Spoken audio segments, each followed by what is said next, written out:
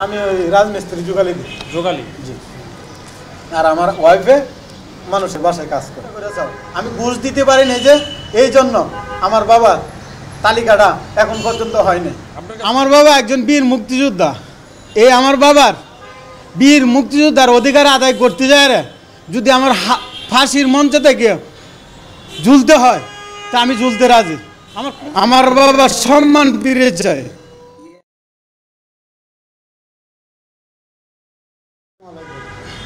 আমার বাবা একজন বীর মুক্তিযোদ্ধা ছিল নাম কি? কোথায় যুদ্ধ করেছেন আমার বাবার নাম আব্দুল মজিদ। আমার দাদার নাম ময়রউদ্দিন কোথায় যুদ্ধ করেছেন আপনার বাবা? আমার বাবা যুদ্ধ করেছে হাল্লাঘাট নাইন্দাবাড়ি ফুলপুর। আচ্ছা। মানে সরাসরি যুদ্ধে অংশগ্রহণ হ্যাঁ সরাসরি যুদ্ধ অংশগ্রহণ করছে। আমার বাবার তালিকা রয়েছে। ভারতের তালিকা আছে এবং কল্যাণ রাষ্ট্রের মুক্তিবার্তা আছে এবং অরিজিনালি সব ডকুমেন্টস আছে।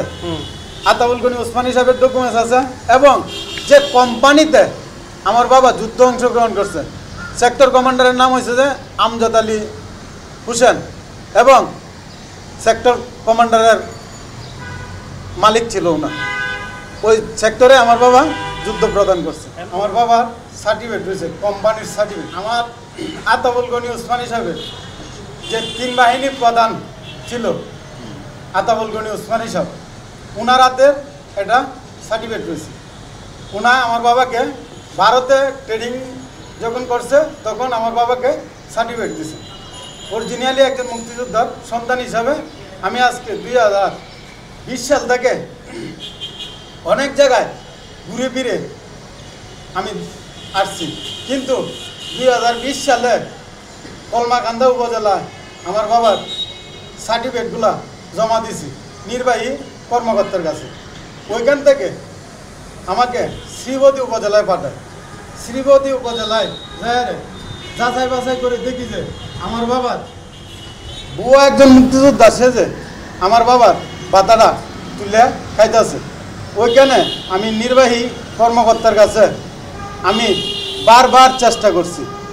আমার বাবার মুক্তিযোদ্ধা বাতাটা পাওয়ার জন্য। ওইখানে একজন কমান্ডার শ্রীবতী উপজেলার, ওই কমান্ডারে বারবার বাধা দিছে আমাকে। বাধা দেওয়ার পরেও আমি নামান্য এই কাজের ফাঁকে ফাঁকে আমি ঢাকা শহরে আসি আসার পরে আমি মুক্তিযোদ্ধা মন্ত্রণালয়ের অফসাইডে যাই। অফসাইডে যাই রে আমার বাবার নাম দিয়ে রে আমি তালিকা টান দিছি, তারপরে অফসাইড থেকে আমার বাবার নাম, আমার বাবার সব কিছু বাইরেছি। বাইরনির পরে এগুলো নিয়ে শেরপুর, শ্রীপতি উপজেলায় জমা দিছি। জমা দেওয়ার পরেও ওইখানে নির্বাহী কর্ম- কর্মকর্তার কাছে আমি কোনো আশ্বাস পাইনি। না পাওয়াতে আমি মুক্তিযোদ্ধা মন্ত্রণালয়ে আসি, বিজ্ঞান জাদুঘরে যাই। ওইখানেও আমি কোনো, এখন পর্যন্ত দু হাজার বাইশ সাল পর্যন্ত আমি কোনো আশ্রয় পাইনি। আমি একজন এতি অসহায় একজন মুক্তিযোদ্ধার সন্তান হিসাবে আমি আঠারো কোটি মানুষের কাছে আমার বাবার সম্মান ফিরে চাই। আমার বাবার সম্মান ফিরে চাই। আমার দাবি একটাই, আমার বাবার সম্মান আমি ফিরে চাই। এবং সেই সাথে আমি আজকে আমার বাবার অর্থ সম্পদ থেকে, দাদার অর্থ সম্পদ থেকে আমি আজকে বঞ্চিত। আমার বাবার সৎ ভাই নবী হোসেন ব্যাপারী পাঁচ সন্তানে আজকে আমার সব কিছু দখল করে খাইতেছে। আমার আইডি আমার সব কিছুই আছে। আমি একজন বাংলাদেশ নাগরিক হিসাবে আমার আঠারো কোটি মানুষের কাছে আমার একটাই দাবি আমি আমার বাবার সম্মান ফিরে ফিরে পাইতে চাই। আমি একজন বীর মুক্তিযোদ্ধার সন্তান হিসাবে। আচ্ছা, আমি স্বীকৃতি চাই। সাথে একসাথে যুদ্ধ করছে মাঠে এরকম কেউ বেঁচে আছে হ্যাঁ, বেঁচে আছে। ওনারা কি বলছেন আপনাকে? হ্যাঁ ওনারা এই যে সার্টিফাই করছে আমার বাবাকে। একজন বীর? মুক্তিযোদ্ধা একজন আব্দুল অদুত উনি কি?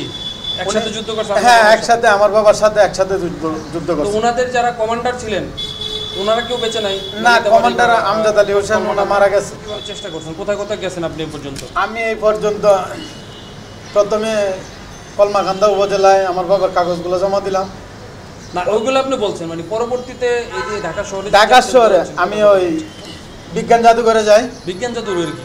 বিজ্ঞান জাদুঘরে এই ভারতের তালিকা যেখানে প্রকাশ করা হয়েছে বিজ্ঞান জাদুঘর থেকে ওইখানে। কল্যাণ ট্রাস্ট মুক্তিযোদ্ধা বিষয় মন্ত্রণালয় কল্যাণ ট্রাস্টে আইসা ওয়েবসাইট থেকে এই তালিকা পাইছে। মুক্তিযোদ্ধা মন্ত্রণালয় গুলিস্তান মগবাজার আমি সব জায়গায় দৌড়াদৌড়ি করছি। ওনারা কি বলেন?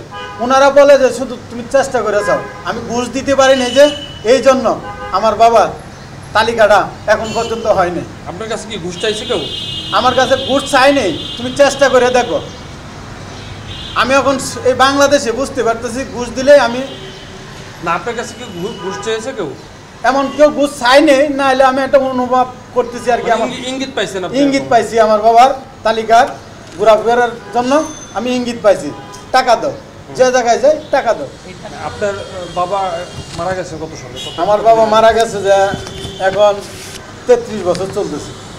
বত্রিশ তেত্রিশ চলতেছে আমার বাবা মারা গেছে। আপনার বাবা মানে বেঁচে থাকা অবস্থায় আপনারা জানতেন না যে উনি একজন মুক্তিযোদ্ধা? না এর আগে তো আমার আমরা শুরু আমার শুরু তো এরা আমার বাবা মারা গেছে। আমি তখন নয় থেকে দশ বছরের মানুষ। আমার বাইরে ছয় মাসের মানুষ। আমার বোনটা আমার তিন থেকে চার বছরের মানুষ। হ্যাঁ পরবর্তীতে শুনছি আমার বাবা মুক্তি কিন্তু আমাদের কাছে কাগজপত্র ছিল এটা জানতেন না। না কাগজপত্র যে ছিল এটা আমরা জানতাম না। কিন্তু আমরা ঘোরাঘুরি করছি সবার কাছে জিজ্ঞাসা করছি। আমার বাবা যে একজন মুক্তিযোদ্ধা ছিল তাদের সার্টিফিকেট কি? ও সার্টিফিকেট কেউ আনছে কেউ আনে নাই এইভাবে তালিকা হয়েছে। তখন আমরা যেহেতু সার্টিফিকেট পাই না তুই আমরা এটা কই যাব? কার কাছে যাব? আমার বাবার তালিকাটা পাইছি আমি দুই বছর হয়। ওই আমার বাবার সৎ ভাই নবী হোসেন ব্যাপারী, কাছ থেকে। ওদের সন্তানের কাছ থেকে।